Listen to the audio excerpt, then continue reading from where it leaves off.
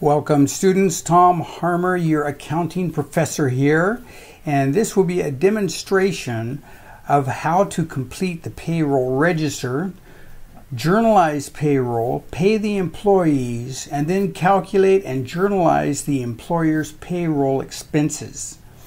This is a summary of Chapter 11, plus it fills in the gaps that Chapter 11 didn't touch on. Now I've also provided here some optional in the upper right corner. I have an optional uh, video lecture on calculating gross pay, the withholdings all the way through net pay and journalizing. And then I have another uh, e-lecture from another publisher on calculating employer payroll matching expenses and other expenses such as uh, unemployment tax, FUTA, and SUTA. So you can watch those if you like to fill that in. Your demonstration that you're watching right now is this first one up here. I'll have a separate demonstration on journalizing after you've prepared the payroll register, on journalizing the payroll register, and then a last video here which will show how to calculate the employer matching payroll expenses and other payroll expenses that are required by law or by contract with the employee. So, here we have the problem here. Calculate wages and withholding for Nelda Anderson and Winnie Lou. Complete the payroll register. Okay, so I've completed Earl Benson and, and Frank Cortez here are done. So you just have to calculate the withholdings and net pay uh, for Winnie Wu and Nelda Anderson, and then you're going to summarize the payroll register as I'll demonstrate here next. So just to mention, let's go over here. I'm at the bottom of the screen. I'm going to click over to payroll cycles. I uh, have provided this elsewhere in the Canvas class, but this is a summary of the uh, of the payroll cycles that are happening in any company every week. We have employees work and uh, for the week, and then they submit their time cards or timesheets. Then the accounting department, that being you guys, uh, prepare the payroll register you calculate gross pay, you calculate all the withholdings that are required by law, and any other withholding that is required by your employment contract with the employee, like insurance benefits and things like that. Okay, then then you're going to journalize the payroll register, and then after that, typically a week later, you're paying the employees. So we're going to go through that. We mentioned here the employee's individual earnings record that was on page four, 514. We're not going to actually do that, but that is required by law. And so, and then after we've journalized it all, we post the journal entries. And then later in the next cycle is a cycle in which the employer calculates their employer payroll expenses, the matching required, the federal unemployment and state unemployment taxes that are required that the employer pays but doesn't withhold from the employee's check and any fringe benefits that are agreed to in the employment contract. Now, in this process, our textbook didn't talk about the limits. People aren't taxed on on on the, all of their wages. They have a ceiling limit on Social Security that is currently one hundred seventeen thousand dollars, and that's the example number we'll use, even if uh, that changes next year or so. Medicare is taxed regardless. There's no limit on that, and federal income tax, of course, the employer is not matching and there's no ceiling on that. So then we are going to prepare the payroll tax, journalize all of the employer's other payroll tax expense liabilities. We are not going to go into the actual forms that are used for reporting this to the IRS here. So we'll just be taking it through preparing the journal entry for all of the employer expenses. So with that, we come back here. We're going to finish the payroll here for Nelda Anderson. Anderson, she's married. She has five exemptions. She's got a pay rate of $9 an hour. She's worked 50 hours, so she has some overtime. So here we go. We've got 40, which is the maximum regular time for the week, times her $9 an hour. So we've got $360 of regular time, and then we've got 10 hours at time and a half, so that's going to be, so overtime will be equal to 9. So we got equals times 9 times 1.5 times 10 hours or 135. So here we've got uh, total uh, equals equal to overtime plus regular time or 945. Cumulative earnings are going to be the earnings prior to this payroll plus the current payroll. So that's going to be equal to earnings prior plus current earnings. There's our cumulative payroll there. Our Social Security wages, this person is under 117,000 of cumulative earnings, so that's going to be equal to the same at 495. The Medicare wages are on all wages regardless, so that's going to be there at 495. Social Security wages withheld. So this is the amount that withheld from the employee's check. That's going to be equal to the gross pay of 595 times 0.062 6.2%. Okay, and our Medicare is equal to our gross pay at 495 times 0.0145 718 Federal income tax withholding. Okay, so this person had a gross pay of 495. She's married with five. So I come down here to the married tables, uh, withholding tables for married, weekly payroll. Okay, she's at 495. So let's scroll down.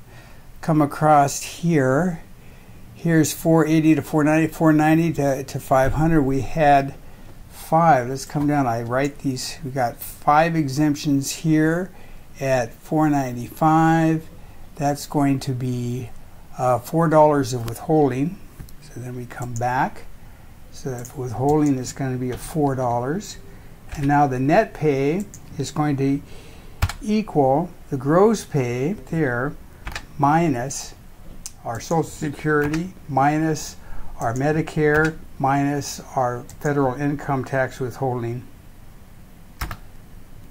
Okay, it brings us to 453.13. These are all credits. The credit this is this is wages payable. This is credit to FIT payable. This is Medicare payable. This is Social Security payable. The wages expense that we're debiting, we only have one category for wages for wages, which is like wages expense, and that equals gross pay. So that's equal to our, come over here, gross pay. So there we go. So that we've done Nelda Anderson. Now let's go down to Winnie Wu. Now she's a high paid executive that happens to be a consulting position paid by the hour at $100 an hour. She's worked 35 hours. She has cumulative earnings of $114,000. So when we take our regular times earnings, that's equals to 100 times our 35, that's $3,500. Now that's going to put her over the FICA limit. And let's go back here to the limits that are mentioned in the problem here. Okay, employer paid health insurance at $200 per employee per payroll period. Federal unemployment tax is 0.8% and state unemployment tax is 4%. Okay, the limits for federal and state unemployment tax is $7,000. The limit for Social Security tax on an employee is 117,000. So you see here, Winnie Wu has straddled that that number with this 3,500. She's going up to 117,000. So she's got regular times earnings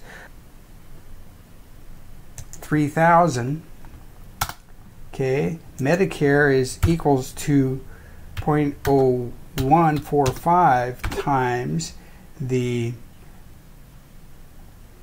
3500 and then the federal income tax that is given the income tax tables attached down here don't go up to $3,500 of pay. So therefore, that is given to you as as a thousand dollars of withholding there. So you see that's been added up here. When you withholding is one thousand. That's given. Okay, so our net pay is equal to once again equals gross pay of 3,500 minus 186 minus 5075 minus 1000 enter.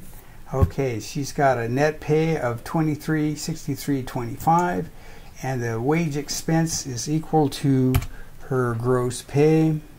Overtime earnings is zero and gross earnings is now equal to overtime plus our regular time. And by the way, you could have copied your formulas down from above. Cumulative earnings equals our current gross earnings plus our cumulative earnings prior to this payroll. And that brings us to 117,500. Now you notice here that's $500 over the Social Security limit. So she's not taxed on all $3,500 of this income. Her Social Security wages that are taxable are only 3,000, but her Medicare wages are, there's no limit on that, so that's still 3,500. Okay, so let's calculate her Social Security equals 0.062 times her gross earnings equals, okay, 217 Okay, so let's calculate Social Security withholding. That's going to be equal to 0.062 times the $3,000 that's taxable of her wages. That's 186. Medicare, there's no limit, so that's equal to 0.0145 times her Medicare wages. Okay, federal income tax it's given up here. It's the tables we have down below don't go up to that high of gross pay. So we've got Winnie Wu withholding is 1,000. That's a given. Tab, and now we've got our net pay is equal to her gross earnings minus, and you could, like I mentioned, you could have copied this formula minus Social Security withheld minus Medicare withheld minus federal income tax withheld. So there's her net pay. These withholdings are required by law. Now, the wage expense for her is equal to her total wages, so that's going to be over here at her gross earnings there. Boom. So there we go. Now we've completed doing all the withholding, calculating the net pay for each employee. So now we're going to get our column totals, and when we journalize this payroll register, we just journalize the column totals. So the ones that we're going to be journalizing are our uh, Social Security withholding. So I'm going to come here, going to get my formula in there using my summation formula, and I can just copy that over. Boom, there we go. That is what we're going to be journalized. This is the payable, Social Security payable, Medicare payable, federal income tax payable, wages payable, that's our net pay, is wages payable, and the wages expense is 48. So our next video will demonstrate journalizing this payroll register.